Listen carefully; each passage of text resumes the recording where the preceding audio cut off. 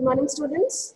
Sorry for the delay. There was some uh, uh, problem with the uh, power supply here. We didn't have power supply till now. So there was this delay. But in spite my delay, I still find just 80 students, 79, 80 students in the class. That's disappointing. I thought you would be ready with your uh, systems to enter the class as soon as it started. Okay, so today's topic will be cleft lip and palate. But before going to start this topic now, I would just like to take a small quiz. Uh, you know, I'll be asking you some very easy questions on the uh, topics covered in my last classes. Okay, oral cavity. This is just to brush your knowledge and also for me to know how far you're going, uh, how far you're understanding the topics that I have covered. Okay, so I would like you people to answer through chat. This 86 participants, 86 students that have entered the class. We just do a small quiz till we get the entire uh, strength, class strength. Okay, so the first question what the most strongly implicated pre-malignant condition of the oral cavity is. Is it median rhomboid glossitis? Is it erythroplakia? Is it erythema multiforme or leukoplakia? So I've already got answers from roll numbers 102, 108, uh, 124. Okay. Uh, but I'm sorry to say this is not the right answer. Shall I wait for the right answer?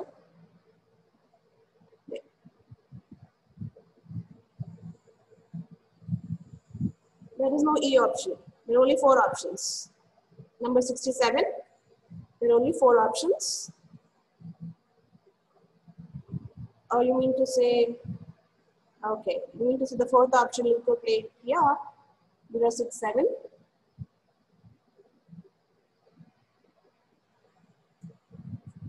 and just wait for some more answers.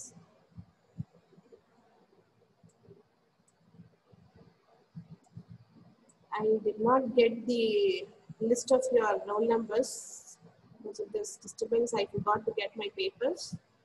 I do not know your roll numbers names. 061. 061, can you please type your name also? Number 061 register number ending with 61.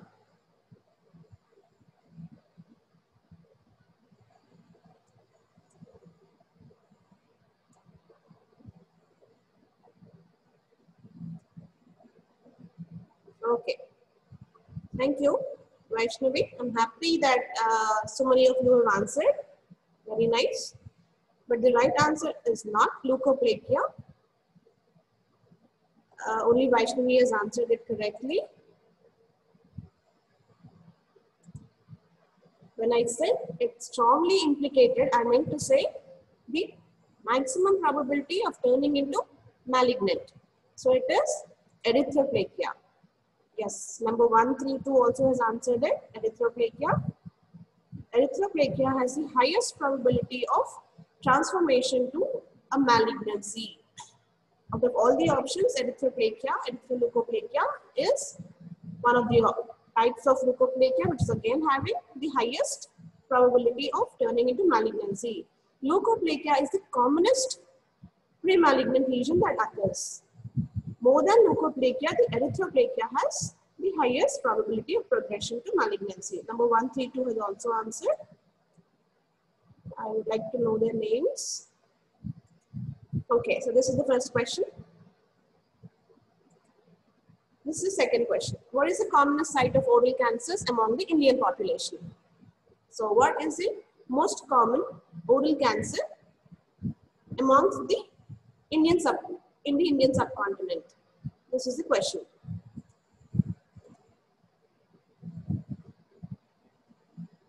Okay, I've just got one answer so far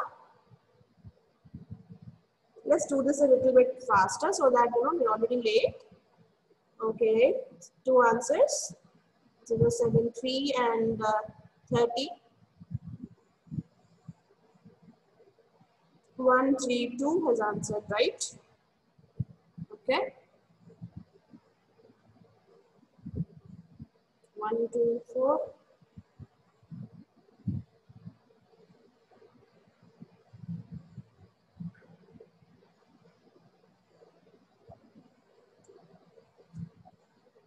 I would like 132 to please uh, give me their name also. 132 141. Please type in their names just for me to have an idea. Okay, Divya, Vaishnavi, Divya, yes. The girls, Jahnavi 141.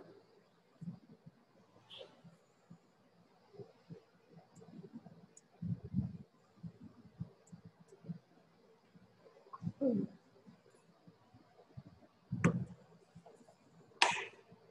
Okay, so Divya has answered it rightly first. After that, even 141 has answered, I think.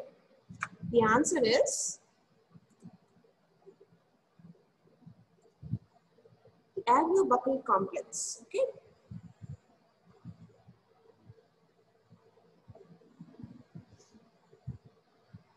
See, alveobuccal complex has the highest incidence in the Indian subpopulation.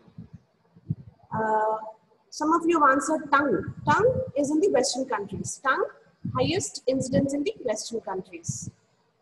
Tongue also has, also has the highest incidence of nodal spread. That is the regional lymph nodes, the cervical lymph nodes nodal spread is highest for tongue. Okay. And lip has the best prognosis of all the cancers in the oral cavity. Okay. So this is with the second question answers. Now identify the, or give me the spot diagnosis of this picture.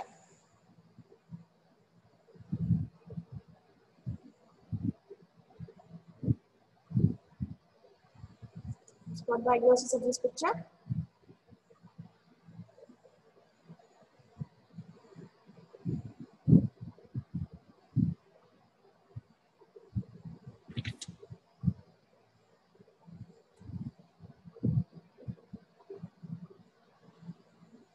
Zero three zero. I haven't started with cleft palate and lip. So this will definitely not be the answer. I'm asking you questions from my previous classes, not from the class I'm going to tell you now. So this is not the answer. It looks like that, but did I ever tell you this is cleft lip and palate? Do you think that is cleft? Cleft?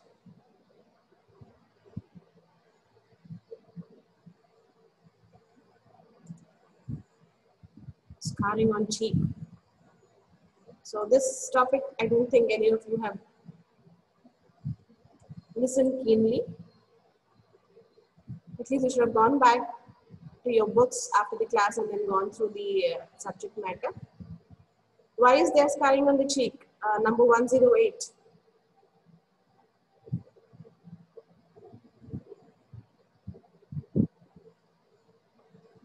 Either you give the right answer, you give the probable differential diagnosis for this picture. So I cannot expect answers other than that. So this topic you have to go through again. I'll give out the answer. Let's not waste time. This is cancrum oris or also called noma. Right? This is quite uh, commonly seen in the malnourished uh, children, mostly in the sub-Saharan uh, regions. It's nothing but an infective ganglion, extensive infective ganglion that starts in the lips, extends to the gums and spreads to the cheek, also affecting the bone, the maxilla or the mandible if it is lower jaw, in the soft tissues, and ultimately onto the skin, causing extensive tissue loss. There is extensive tissue loss, giving you an appearance of a cleft, but this is not cleft at all. This is not at all the location, the, uh, the place for cleft, okay? So this is not cleft. If at all you give me an answer, I, maybe I should have considered the carcinoma, which is not, which is a differential diagnosis for cancrum oris. But okay, this is cancrum oris, also called noma. Okay, there's extensive necrosis of the mucous membrane in the oral cavity, and also destruction of the soft tissues within and exterior. Okay, now what is the type of flap used here for reconstruction of the center part of the lip? There's a um, there is a there is a malignant lesion, ulcerative lesion on the central part of the lower lip, and then there was a planned reconstruction after excision of the lesion with complete clearance, macroscopic clearance, then the planning for reconstruction. What is the reconstruction that is being shown here in this picture?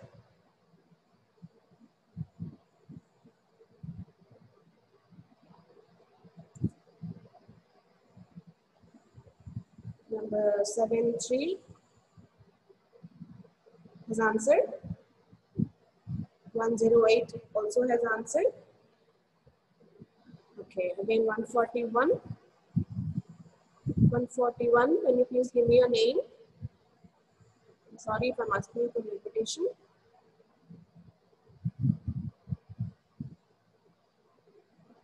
Yeah, Jahnavi, okay. Also answer the second question, no? Okay. First, I think 108 was answered. Give me an answer, no. It is 073. 73, I would like you to give me the explanation for your answer.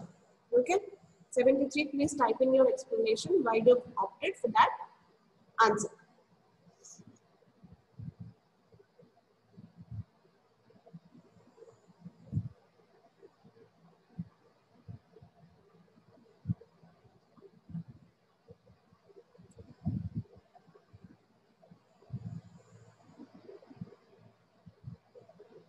Okay, 73.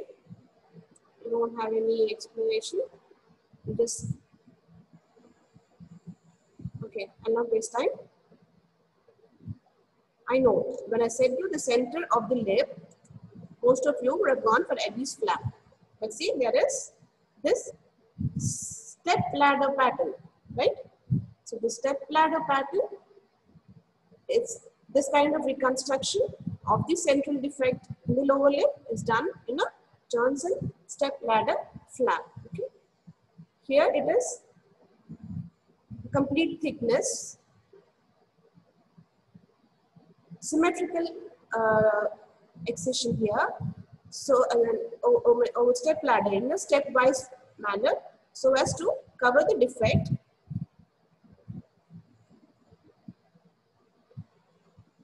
after reconstruction. Okay. Flap, yes, it is done for lesions in the central part of the lip, central lip, but a smaller in size. Estlander flap for the angle of the mouth. When the lesion is towards the angle of the mouth, you need reconstruction towards the angle, then you use an Estlander flap. Bernard flap, again, lower lip reconstruction, but it is a huge lesion. It's almost it is not here done here. It is a cheek advancement flap. Bernard flap is a cheek advancement flap. Cheek advancement where you have this. I told you a Burow's uh, triangle. After the defect, those are closed. So this is example for a advancement flap. Cheek is used here. Johanson step ladder flap is the answer for this picture. Identify this lesion on the gum. The next question.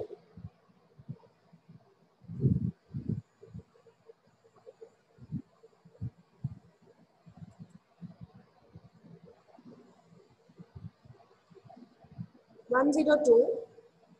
This is on the gum. It is not on the floor of the mouth as you think. You've given an answer for the floor of the mouth, but this is on the gum I told you.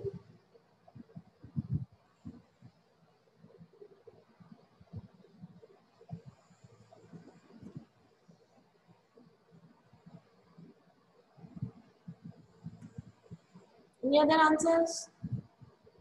We should not waste time in these questions, right? This is just for revision.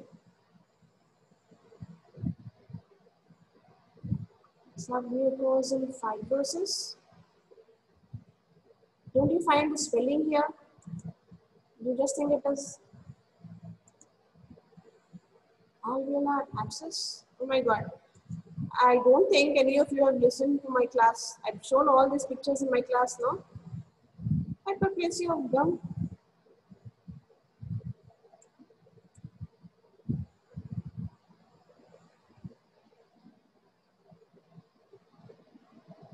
Granuloma. No.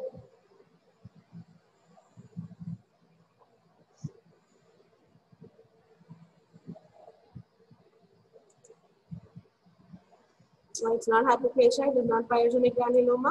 So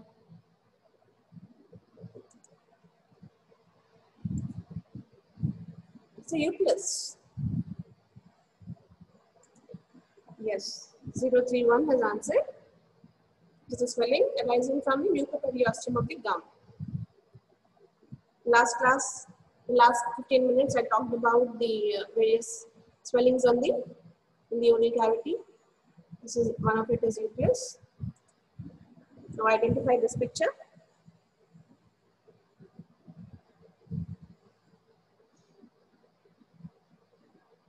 Identify picture and the diagnosis from this picture. This is the lesion that's marked in red. This is an investigative picture showing the lesion and hence the diagnosis.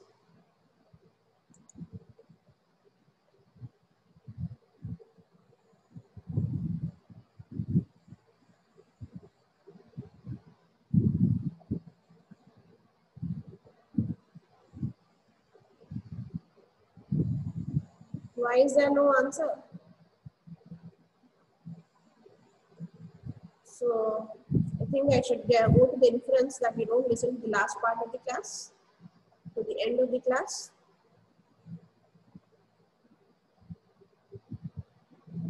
Microdontia. No.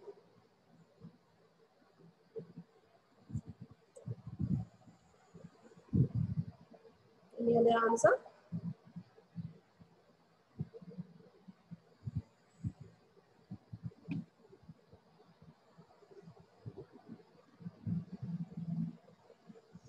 Anyone else willing to answer? Let's do it fast.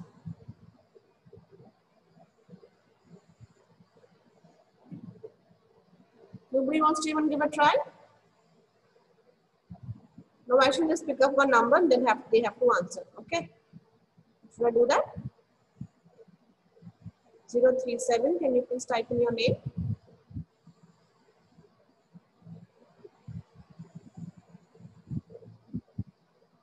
Oh yeah, Gautam. Okay.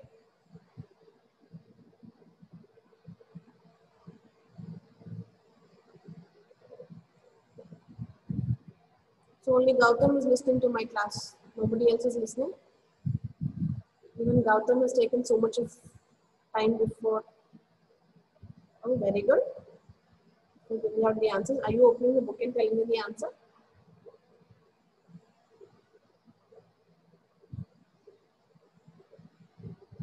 Okay, okay. The image was not clear before. Okay. I take your answer. Correct. So this is a dentigerous cyst as Gautam has rightly answered.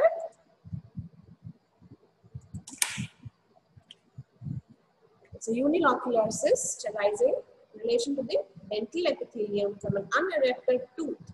So on the OPG or orthopantomogram, you get to see the unerupted tooth within the cyst cavity. The cyst cavity is so well defined. You can also identify the unerected tooth below the normal erupted teeth. Okay.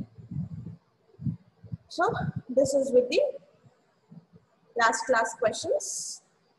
So I would like you all to go to the topics, go to the topics in your textbooks and come back with some questions if you really have an interest in. Okay. So for today's class, I'll start with cleft disorders. What is cleft exactly? It is a crack or a fissure or a split or a gap. So the clefts of the lip, alveolus, hard and soft palate, these are the most common congenital abnormalities of the orofacial structures. Structures in the mouth and face. These are the structures that have a cleft, that show a cleft, And these are all congenital abnormalities. They frequently occur as isolated deformities or in combination deformities along with other medical conditions, most commonly congenital heart diseases. Okay, so the syndromic uh, association usually mostly with congenital heart diseases. So all children born with a cleft lip and palate, they need a pediatric assessment so as to exclude the other congenital abnormalities and hence the diagnosis of a syndrome. And then a genetic counseling must also be sought if a syndrome is suspected. So what is the incidence of cleft disorders? Cleft lip and palate together it is around 1 in 600 live births. Only cleft palate, isolated cleft palate, whether it be the hard or soft palate, it is almost about 1 in 1000 live births. So the incidence of cleft is, is maximum amongst all the orofacial abnormalities, congenital abnormalities. Okay. The incidence increases in the Oriental groups to as much as 1 in 500 and decreases in the black population. So before you know what how a cleft is formed, you have to know the embryology. That is the normal development of the face. So face develops from the from five processes, out of which one is an unpaired process or a prominence, and there are four paired processes. The unpaired one is the frontal process. The paired ones are four in number. They are the frontal, uh, sorry, Uh, the maxillary process, the mandibular process, median nasal process, and the lateral nasal process. Okay, so it develops from the median nasal process, the lateral nasal process, the maxillary process, and the mandibular arch. Any change in development or fusion of these arches leads to formation of different types of cleft lip and palate. So down third to fourth week of intrauterine life, you have the development of the branchial, branchial arches. The first arch is the mandibular arch, development of the nasomaxillary complex. So around third or fourth week, you get to form these processes. The first mandibular arch will give you the nasomaxillary complex. Then the mandibular arch gives rise to the maxillary process. From about fifth to sixth week, there's a formation of the nasal pits and grooves in the frontomaxillary process, dividing it into a medial nasal process and the lateral, there are two lateral nasal process, single medial nasal process and two lateral nasal processes. Okay. These maxillary processes fuse with the medial and lateral process. This maxillary process fuses with the medial and lateral processes to form the upper lip and the primary palate respectively. Okay. Now, development of the palate in particular, it begins in the sixth week. It develops from the primary palate, that is the median nasal process. From the secondary palate, develops from the maxillary process. The maxillary process forms the secondary palate that is behind the incisive foramen and the one that is in front of the incisive foramen is the primary palate. It is formed from the medial nasal process. Okay, so this includes the alveolus and the uh, of the lip, the primary palate. This is the secondary palate, the uh, hard palate part, hard palate and soft palate, secondary palate formed by the fusion of the maxillary processes, palatal plates of the maxillary process. Okay. So the palate is formed by the contribution of the maxillary process, the frontonasal process, and the palatal shelf from the maxillary processes. Now the frontonasal process gives rise to the premaxillary palate, which I told you in front of the incisive foramen. This is the premaxillary process. Or the primary palate is formed from the frontonasal processes while the palatal shelf gives rise to the rest of the palate, which is nothing but the secondary palate behind the incisive foramen. Okay? The fusion of the two palatal shelves, it begins at the 8th week and continues till the 12th to 17th uh, embryonic week. Initially, the palatal shelves are covered by an epithelial lining. Slowly, as these palatal shelves are fusing, the epithelial cells degenerate and then there is connective tissue formation then inter which intermingle with each other, resulting in the, in the fusion of these two palatal plates, halves, palatal shelves on either sides. So when there's defective fusion of these plates, then yes, you get a cleft palate. Development of the lip. Lip is derived as from the medial nasal process, the upper lip, and the lower lip from the maxillary process. So the lower lip is formed by the fusion of the sorry, the upper lip is formed from the medial nasal process and the maxillary process fusion, and the lower lip is formed by fusion of the mandibular process on both the sides. Failure of merging between the medial nasal process and the maxillary process in the fifth week of gestation on one side or on both the sides will give rise to a cleft lip. The cleft lip is usually more common on the upper lip because of defective fusion or incomplete fusion between the medial nasal and the maxillary processes. The same part that I've shown you. The mandibular process gives rise to the lower lip. The upper lip formed from the frontonasal process and the maxillary process, the lateral part. Okay.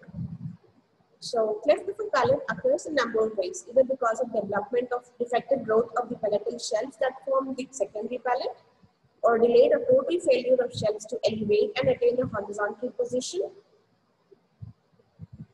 and lack of contact between the shelves, post-fusion rupture of shelves, also failure of mesenchymal consolidation. So these are just the points of pathogenesis of the cleft palate.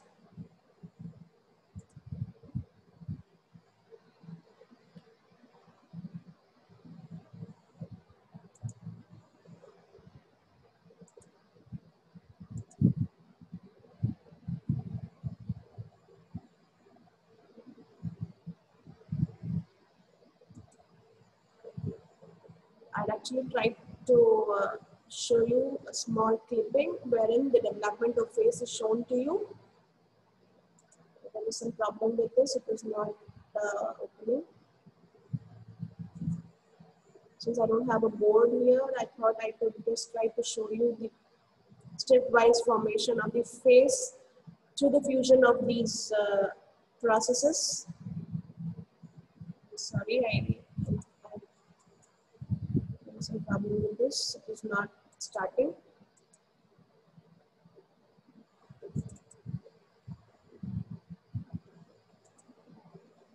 Okay, so excuse me for that. Uh, coming to the anatomy of the cleft lip and palate. So what happens during this defective fusion? For the cleft lip first, the abnormalities in the cleft lip, the direct consequence of disruption of the muscles of the upper lip in the nasolabial region. The nasolabial region, the nasolabial region, this region.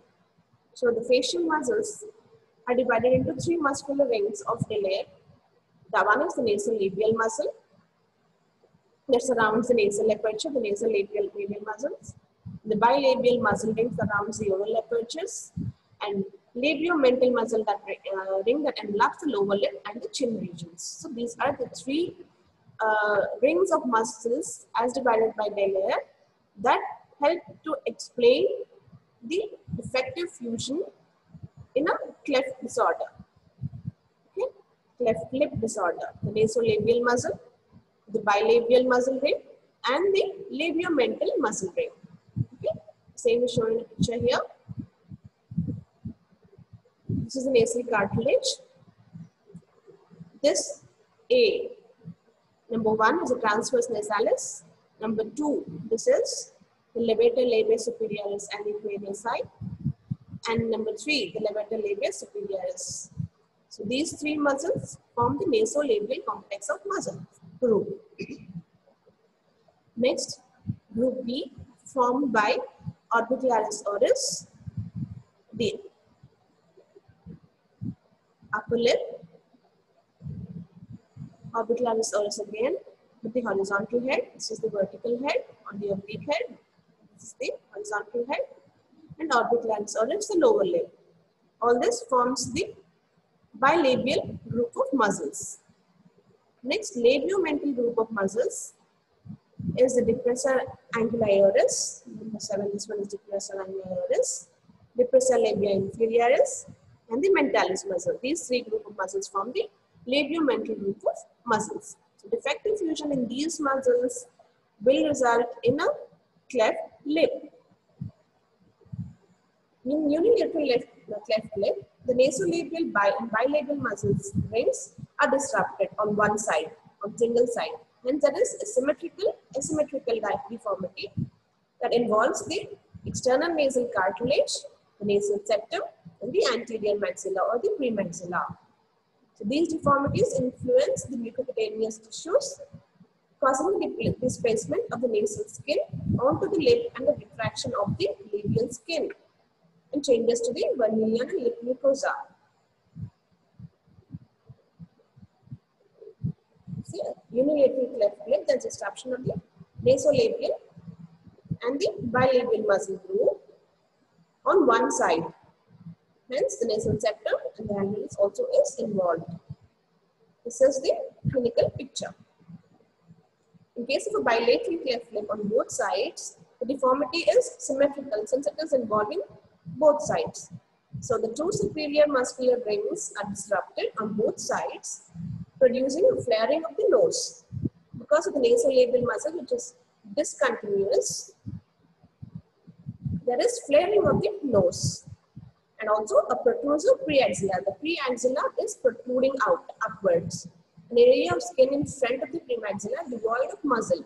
So this has no muscle, just a flap of skin in front of the maxilla.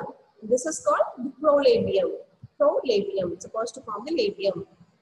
As in the unilateral clip, the muscular cartilaginous and skeletal deformities influence the mucocutaneous tissues again. So, which must be corrected during a repair, both in case of unilateral and bilateral cleft lip. See, destruction of the nasolabium, the bilabial muscle chains and bilateral disease leading to formation of a symmetrical deformity. And a prolabium. The pro premaxilla is protruding out and there is a prolabium, which is skin fold without the muscle issue.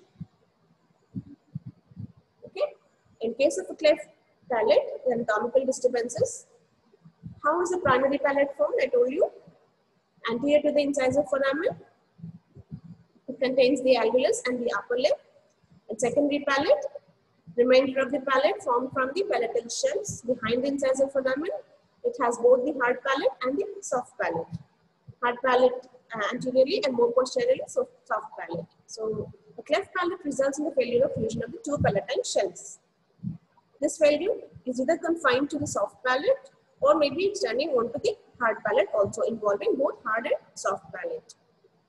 When the cleft on the hard palate remains attached to the nasal septum and vomer, then the cleft is incomplete. That is attachment to the nasal septum, so it is incomplete cleft. But when the cleft is extending onto the nasal septum and the vomer, then separating two halves of the palate, then it is called a complete cleft palate. So these are the terminologies that we get to uh, come across. So incomplete and complete. So soft palate, cleft. Normally the closure of the velopharynx, which is essential for normal speech, is achieved by five different muscles functioning in a complete and coordinated fashion. So what are the five different muscles? They are the tensor palatini, the levator palatini, and the palatopharyngeus, palatoglossus, and the musculus uvulae, the uvula. Okay, so these in coordinated fashion help in articulation of speech. So the muscle fibers of the soft palate are oriented transversely normally. They are not usually attached to the hard palate. But in case of a cleft in the soft palate, these muscles are oriented anterior-posteriorly. They are oriented anterior-posteriorly and inserted onto the posterior edge of the hard palate. So this is how in a cleft lip the muscles are attached to the hard palate, hence resulting in difficulty in speech. If there is a soft palate cleft, okay. Now what happens in a hard palate cleft? The normal hard palate is divided into three anatomical and physiological zones. They are the central palatal fibromucosa, which is very thin and lies directly below the floor of the nose. The maxillary fibromucosa, which is thick and it contains the greater palatine neurovascular bundle and the gingival, gingival fibromucosa, which lies near the teeth, around surrounding the teeth. Okay, so adjacent to the teeth, that is the third zone or the peripheral zone, which is the gingival fibromucosal layer of the hard palate. The middle one is the maxillary fibromucosal layer. The central one is the palatal fibromucosal layer, which is mostly thin. Directly, it lies directly below the nose. So, this is to explain you the formation and the difficulties in a cleft of the palate, hard palate. So what are the etiological factors of a cleft disorders?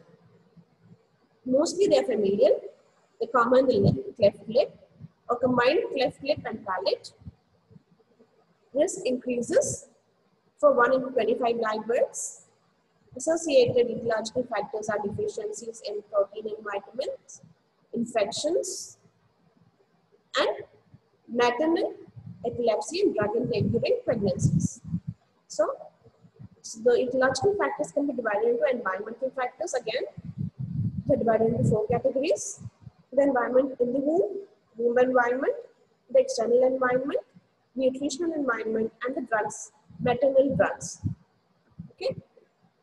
Certain drugs that act as teratogens cause birth defects like there's uh, drugs like antiemetics, anti-epileptic drugs, phenytoin, valproic acid, thalidomide, digoxin, retinoic acid, also maternal alcohol abuse and maternal cigarette smoking are the teratogenic uh, factors that may cause cleft disorders in the womb. Some of the teratogens like rubella infections, cortisone ingestion, mercaptopurine, methotrexate, Valium are also teratogenic in nature. Infections like rubella, syphilis, and toxoplasmosis during pregnancy can cause cleft disorders. Also, I told you maternal alcohol that causes interruption in the migration and differentiation of the neural crest cells forming to defective fusion. The embryos exposed to maternal smoking also have increased risk of cleft disorders. The predisposing factors for clefts are increased maternal age, those who conceive, women who conceive late, have increased risk of having offsprings with clefts. Racial mongoloids have highest incidence of clefts. Also, defective blood supply in utero because of certain factors that reduce the blood supply to the maxillary areas, maxillary areas during the embryological development may form defective fusion of lips and palate. I told you it is associated with certain syndromes like Down syndrome, Waardenburg syndrome, orofacial digital syndrome, Treacher-Collins syndrome, Pierre-Robin syndrome. This is more common. Pierre-Robin syndrome is nothing but isolated cleft palate retrognathia and posterior displaced tongue. So this is most commonly found uh, syndromic association in cleft disorder, also Whipple syndrome. So how do you investigate antenatal diagnosis? With an ultrasound or a 3D ultrasonography, it enables the utero, in utero diagnosis of clefts as early as in the, from the 18th week onwards. 18th week onwards, you can diagnose cleft lips and cleft palate. This is the picture of a 3D ultrasonogram showing cleft disorders of the embryo. So what are the advantages of this early diagnosis? At this, number one, the parent has uh, time for getting educated on the management of the baby that is going to be born. It also allows for psychological preparation of the parents and allows them to have a realistic expectations and gives opportunity to investigate the presence of other chromosomal abnormalities. Also, the parent has a choice of continuing or discontinuing the pregnancy. It also helps in getting prepared for the neonatal feeding and care after birth. And also, there are in certain areas, advanced areas, uh, there are options for fetal surgeries. So what are the risk factors? Hereditary risk, it is a hereditary disease, I told you. There's a risk of children of parents with cleft. There is a risk. Or a sibling who is having a cleft, the risk is as much as 4%. The risk is significantly smaller for second degree relatives. So a second degree relative with a cleft, then you have 0.6% risk factor of getting a cleft lip in the present pregnancy. Okay. So coming to classification of cleft disorders, if it is involving the cleft lip alone, only the lip is unilateral, bilateral, or the median, central one. Unilateral on either side, right or left, bilateral on both sides, median, the central one. Cleft of primary palate alone, that is in front of the incisive foramen, it is either complete, there is absence of premaxilla, complete cleft of the primary palate, there is absence of premaxilla. If it is incomplete, then this rudimentary premaxilla is present. It can be on one side or both sides or on the center. So unilateral, bilateral or median incomplete primary palate cleft. Next, cleft of the secondary palate that is behind the incisor foramen. So if it is complete, as I told you, nasal septum and vomer are separated from the palatine process. There is complete uh, cleft. In an incomplete cleft, there is a continuation with the nasal septum and the vomer. They are, they are not separated from the palatine process. It is incomplete. Or it is, one is just submucosal cleft palate, the secondary palate. Okay, so this can be with soft palate involvement or without the soft palate involvement. Next, cleft of both the primary and secondary palates. That is both the premaxilla is in front of the incisor foramen and behind the incisor foramen. That is cleft of both primary and secondary palates. Next, cleft lip and cleft palate together. That is class 5, both lip and palate together. Okay. So this is one important classification of cleft disorders. LAHSHAL classification, wherein L stands for lip, A stands for alveolus, H stands for hard palate and S stands for the soft palate. When it is classified as capital LAHS, that is complete type of clefting of all these four structures. Small letters for incomplete type. Unilateral. Now if we have to denote it on bilateral, then you have to write L-A-H-S-H-A-L on both sides. It's again the same classification. The typical distribution of cleft types is cleft lip alone is 15, combined cleft lip and palate is maximum, that is 45%, isolated cleft palate is 40%. So cleft palate isolated is more than cleft lip, and cleft lip and palate combined is the maximum, has maximum incidence. The cleft lip or palate predominates in males, but a cleft palate alone, only the palate, it is common in females. In unilateral cleft lip, the deformity affects the left side usually in 60% of cases. So the left side is more commonly seen. So coming to the problems, what happens when a, uh, when a baby has a cleft disorder? One has difficulty in sucking and swallowing. This is more so in case of a cleft palate than in cleft lip alone. So cleft palate and cleft lip combined, yes, this difficulty is maximum. But then a cleft lip alone has more difficulty in sucking and swallowing than compared to a cleft lip alone. Cleft palate has a more. Next, speech is defective, especially in cleft palate again. That is difficulty in phonation of letters B, D, K, P, T, and G. This involves the involvement, this involves the uh, participation of the palate. These phonations involve the participation of the palate. Also, there is active dentition and supernumerary teeth in case of cleft palate deformity, more commonly the premaxilla or the primary palate. Recurrent upper respiratory tract infections are common involving the secondary palate. Again, there is respiratory obstruction, soft palate involvement, chronic otitis media, middle ear problems, also cosmetic problems, There's hypoplasia of the maxilla, especially when it is involving the lip and palate, primary palate. Problems due to other associated disorders. So these are the problems that we commonly face in a cleft disorder. So how do you manage? There is one primary, there is primary management and secondary management. Primary management is after the surgery. Secondary management is surgery and beyond, beyond surgery. So first, antenatal diagnosis is important. We have to, all, all the cleft disorders uh, can be scanned uh, ultrasonographically, usually from 18 week onwards, except for cleft palate. Isolated cleft palate is difficult to diagnose ultrasonographically comparatively. Now, next you have to refer, refer the uh, expectant mother to a cleft surgeon.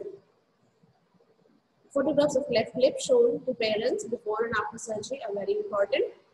Introduction of a parent to a parent support group and meeting parents of other children born with a similar disorder who have undergone the surgery may also be helpful.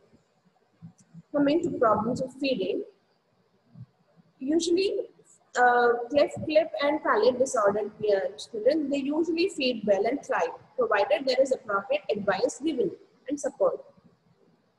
Breastfeeding is usually possible when the cleft is incomplete and confined to the lip. If it's confined to this lip, lip uh, uh, cleft or uh, palatal cleft which is incomplete, then there is not at all a problem in breastfeeding.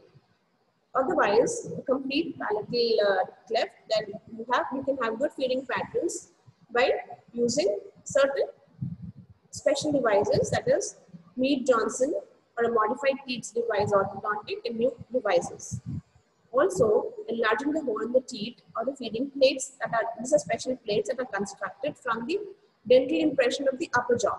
So these are in conjunction, they, they merge with the normal anatomy. These kind of feeding plates help for feeding, improving the feeding. Next, problems with airway. There are major airway uh, respiratory obstruction in Pierre Robin sequence that I told you. Hypoxic episodes during sleep and feeding can be life-threatening. There can be episodes of hypoxia and uh, hypoxia during feeding and while sleeping. So intermittent airway obstruction is more frequent and is managed by nursing the baby in a prone position. Severe and persistent airway compromise, then you have to use a retain, you have to retain a nasopharyngeal intubation to maintain the airway when there is severe airway obstruction. So what are the principles of cleft surgery? The ultimate goal is always to attain a normal appearance of the lip, uh, the face, and the nose, nose and the face. And also speech should be normal, and also dentition and facial growth should be within the normal range. It should be range of normal development. So in a cleft disorder, the ultimate goals are, first of all, for the normal appearance, cosmetic appearance of the face, the nose, and the lip. And also, try to attain speech as near to the normal as possible dentition and facial growth should be as near to the normal as possible. So these are the goals of cleft repair. This timing of primary cleft palatal procedures is very important, quite commonly asked. It is after the layer. So cleft lip alone, when there is only cleft lip on one side, usually five to six months. On both sides, four to five months. So cleft lip within six months you have to operate. Cleft palate alone, so when the soft palate is involved, okay, then six months. When both soft and hard palate involved, then you have to go a staged procedure. First clean the soft palate at six months and next hard palate before 18 months. This is the age before which the hard palate has to be operated upon. When there is combined cleft lip and palate, on one side, again two-stage operation, the cleft lip and soft palate at 6 months, hard palate and gum pad within 18 months. Okay, so 6 months and 18 months is important. Now cleft lip and palate combined on both sides, again stage procedure, initially the cleft lip and soft palate at 4 to 6 months, and the hard palate gum with 18 months. Okay, so this is the important timings of repair for cleft disorder. Firstly, coming to cleft lip, various types are central cleft lip, which is usually rare. It is in the upper lip between the two median nasal processes. It forms a hare lip deformity. It's called the central cleft lip or hare lip deformity. The lateral one, again in the upper lip, because of uh, improper fusion between the maxillary and the median nasal processes. It can be unilateral. Lateral ones can be unilateral or bilateral. This is more common. Lateral kind of uh, cleft lip is more common. It can be unilateral or bilateral. Again, incomplete cleft lip does not extend into the nose. a complete cleft, cleft lip will extend into the floor of the nose. Simple cleft lip is only cleft in the lip. A compound lip is along with the alveolus also. So a cleft lip with the cleft alveolus is a compound cleft lip. This is type 1 central cleft lip or hare lip which is usually rare. The more common one is the lateral one. Type 2, okay. Between imperfect fusion between the maxillary process and the median nasal process. It can be unilateral or it can be on both sides, bilateral. This is a clinical picture of the same. The unilateral, left lip, lateral type, and the bilateral cleft lip on both sides. These both are lateral types of cleft lip, unilateral and bilateral. Next, a wide cleft lip and palate, which is complete in a child. So this is a complex compound involving both the cleft lip and palate. The lip and the palate also involved. Again, the same thing, treatment. The timing of treatment, unilateral on one side, operate at five to six months of age. If it is on both sides, within five months, one operation followed by the second side on, on the other side within three weeks. So there is a Millard criteria which is used to undertake surgery for a cleft lip. What are the what is the criteria? Rule of 10. The baby should be 10 pounds in weight, 10 weeks old, and 10 grams to have 10 grams hemoglobin. So remember, this is the rule of 10 Millard criteria for operating upon a cleft lip. 10 pounds in weight, 10 weeks old baby, and 10 grams hemoglobin. So what are the principles of cleft lip surgery? Rule of 10 should be fulfilled compulsorily. It should be operated upon within 6 months, the cleft lip alone. Infection should not be there. What do we use? The Millard advancement flap is commonly used for unilateral cleft lip repair. The Millard advancement flap.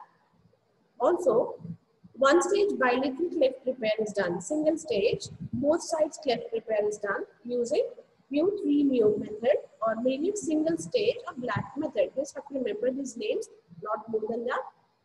So what is actually done, we will start uh, dealt with subsequently. Proper markings are made prior to the surgery and incision should be given full thickness incision on the lip. That is involving the mucosa, the muscle and the skin. There is a full thickness repair. Usually we have to give, we have to give, uh, we need to have uh, intraoperative uh, hemostasis. So we usually give adrenaline injection as low as 1 in 20,000. Dilution should be 1 in 2 lakhs. I mean 1 in 2 lakhs dilution of adrenaline injection is used to achieve hemostasis during the lip reconstruction.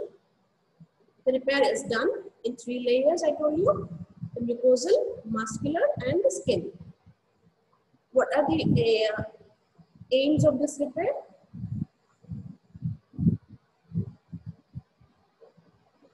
The cupid's bow should be made should be left horizontally. After repair, this cupid's bow it should not be left elevated. This cupid's bow should not be left elevated. Then the continuity of the white line should be maintained. Also, the vermilion notching should not be there. The vermilion there should not be notching there should not be this folding and notching on the vermilion. So these are the aims of proper cleft repair. So what is this Millard cleft flap? By rotating the local nasolabial flaps, this flap is, this cleft is repaired. Rotating the local nasolabial flaps. So after that flap repair, we should also address the primary and secondary cleft palatal deformity if present. Proper post-operative management should be there. There should be very good control of infection and also subsequent training for sucking, swallowing, and speech. The skin incisions, I told you, develop to restore the displaced tissues. So it includes the skin and the cartilage to the normal position. The muscular continuity is achieved by subperiosteal undermining of the anterior maxilla. The maxilla subperiosteal, you have to go to as deep as up to the maxilla, anterior maxilla, the subperiosteal layer.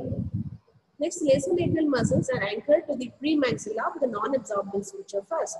Then the oblique muscles of the oris are sutured to the base of the anterior nasal spine and the cartilaginous nasal septum. Once the closure of the lip is done, then the suturing of the horizontal fibers of the orbicularis oris is used to achieve the normal oral sphincter. So first, we have to go to the oblique muscles of the orbicularis oris, which are sutured to the base of the nasal spine, anterior nasal spine. The nasolabial muscles they're anchored to the premaxilla and then stepwise fashion, these three are, these two are closed. Finally, by the, closed by the horizontal fibers of the orbicularis oris muscle are closed. Once the muscle layer is closed, then the mucosal layer and on top of it, the skin is closed. Okay. Here, the skin incision. But you need For unilateral cleft lip,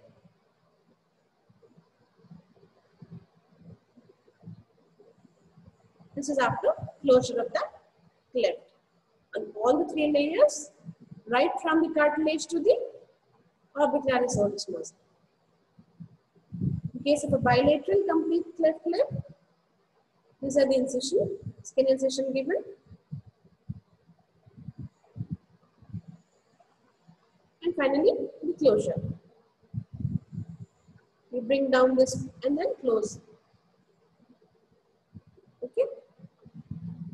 This is the clinical picture for unilateral cleft lip before surgery and after surgery. Proper reconstruction after surgery. The picture is so fine. This is a bilateral cleft after repair. Remember, a bilateral cleft has to be properly closed in order to maintain the normal oral aperture the horizontal fibers that of the orbicularis oris that are closed have to be very properly sutured so as to maintain the normal oral aperture and also maintain the vermilion, the cupid's bow horizontally. Okay, so this is with the cleft lip surgery uh, for the class today. Next coming class, I shall talk to you about the cleft palate surgery. Okay. So any doubts, you can always ask me now or now we have, we have no time, cross the time limit. You always ask me your doubts in your next class. Okay. Thank you.